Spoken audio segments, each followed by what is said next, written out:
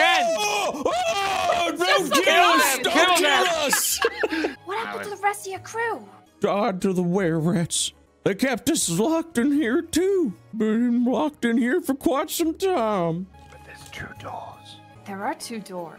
Uh, this door just takes you to another hidden entrance that leads you out of the mountain. Wait, you're telling me these guys knew about a hidden entrance and yet they stayed here? We didn't think They you'd open that that door. bright. that just looks like a wooden Well, wall. I, I It do declare it's just more stone that way.